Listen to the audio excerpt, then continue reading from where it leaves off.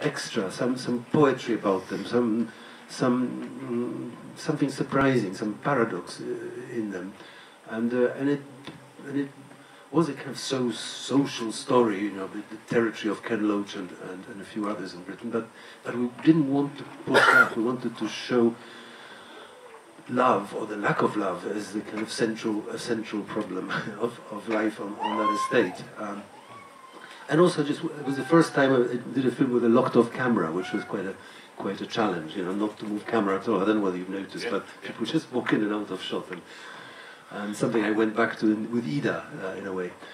In in this film. Uh, I did. I lost I, my. I just wanted to ask sorry. you quickly about, about Ken Loach, and you said you mentioned him, and that's what I think of when I think when I, with yeah.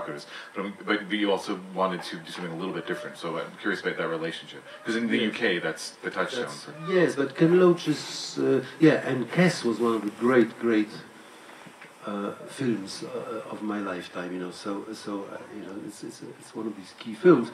At the same time, Ken Loach, you know, made a lot of films, a lot of them he doesn't pay much attention to the kind of poetry of the image or, or, or, landscape. You know, it's all very, uh, very. the images are very functional, and also the story is kind of there to.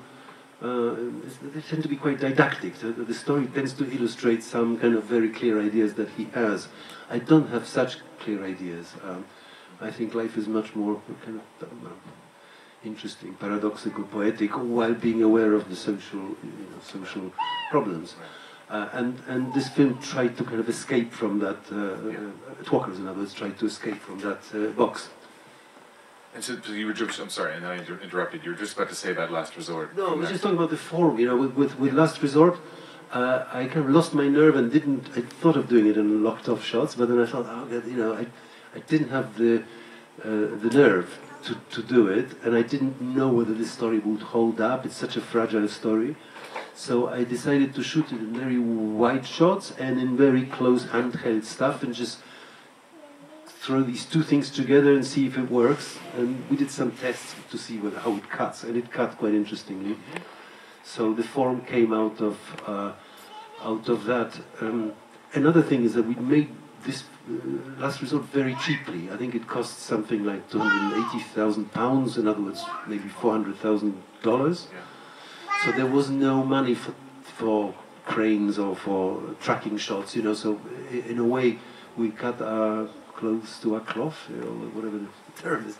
So we found a form that would kind of be uh, uh, expressive and emotionally, you know, um, resonant, but but which would which would allow us to be quite light on our feet and shoot, uh, you know, very quickly, 16 super 16, uh, and while giving myself still the opportunity to rewrite this, this story as I went along, you know, which is my kind of trademark. Um, slightly. And so it, it, did evolve the story while you were. Well, the story was kind of the beginning, middle, and end was what it was, but there were some kind of not not brilliant scenes in the script, which I knew I'd have to kind of put to the back of the schedule. So hopefully, I'd come up with something better in the process of uh, of actually shooting it, which is what I still do these days. You know, but. Uh, but I, then I could only afford to do it at a price, you know. I mean, the film was cheap, the actors were great, not very well known. I didn't get paid anything practically.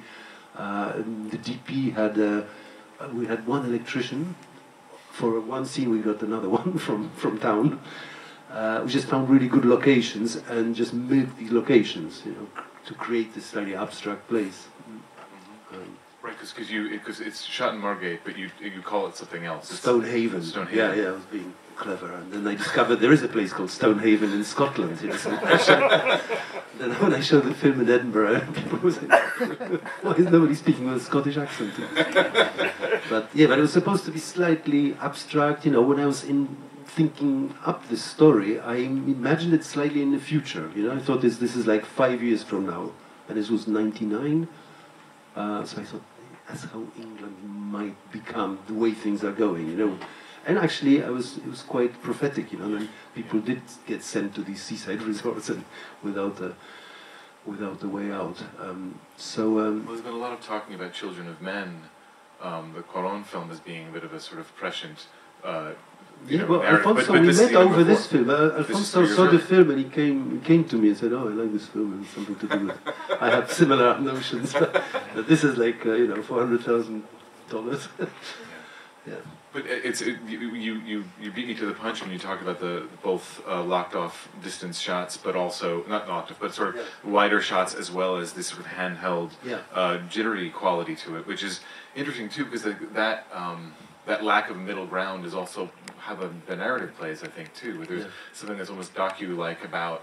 Uh, what's happening in front of the camera at the same Yeah. time is is a, chamber piece. Yeah. It's like a real concentrated. And there's no kind of narrative steps, you like Right. middle, like how you get from A to B. You just kind of get there. Which has you become quite how you've perceived. That's yeah. I tend to, you know, yeah, yeah, to miss out vital vital steps Yeah. often, and just just go to the bits I like or the bits that I you know have some um, some uh, you know uh, weight. Yeah. and, and can be told visually and, and through action rather than dialogue where people you know, explain stuff to each other. Right. So, and you have this incredible track record for, uh, I mean, I mean, discovery is always a, a, a, dodgy term, but the, the notion of actors that many, many of us have not seen before. Yeah. And, and certainly these two lead actors are extraordinary. I was obsessed with Dina Korzun after this, um, and I kept wanting to see her more than we did over the, the, the last 18 years. But how you found her, but then also Paddy Considine, who I think had one major film before this. Yeah, I, I just looked for a long time until I until I thought I found something, someone that really excited me and that I wanted to see on screen. I always like in films um, to, not to see familiar faces, you know, which. Uh, yeah, which blocks my path towards a Hollywood career, but uh, but I do like uh, I do like uh, films to be kind of sui generis, you know, that you kind of the world you haven't quite seen before, faces. You, I love that experience as an audience, uh, and uh, and I and I want to share it with audiences. So in this case, I looked high and low. I looked around Russia for a long time, and I looked mainly at actresses who had kids. You know, because I thought stupidly that that maybe I'll you know get both. And then um, and then in St. Petersburg, I came across. Uh, uh, not a very good actress, in, fact the opposite, but she had a fantastic son, in fact uh, Artyom, who was in the film.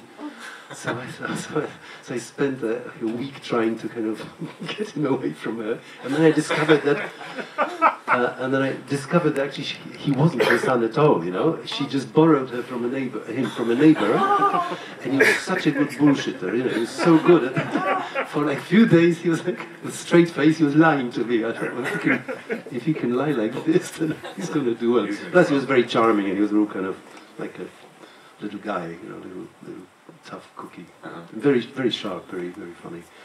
Uh, but he came from his, his real mother was a little bit like the, like the, uh, like like like Dina's character here. Uh, uh, so and then Dina, I saw her. Uh, I saw her on stage in in Moscow. Um, she was with the MCHAT theater, the Stanislavski theater, and she's a great, great actress.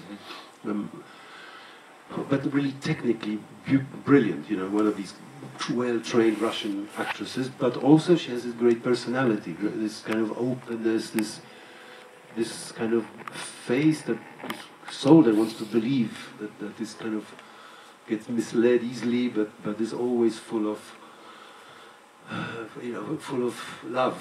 Um, so she had that quality, you know. So I kind of cast her, despite all her technical skills, I just cast her for a character, you know, like a documentarist.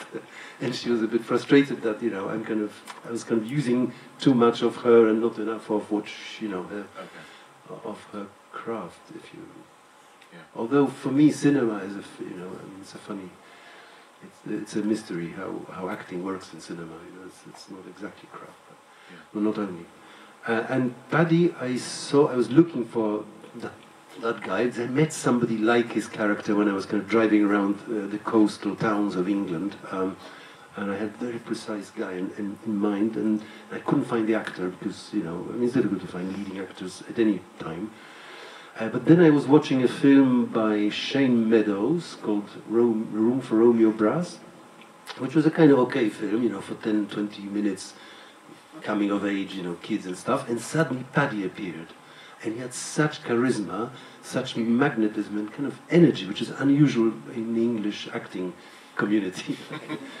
um, and then I, uh, and he was just great, you know, it's really, where did he come from? You know, it's like a revelation.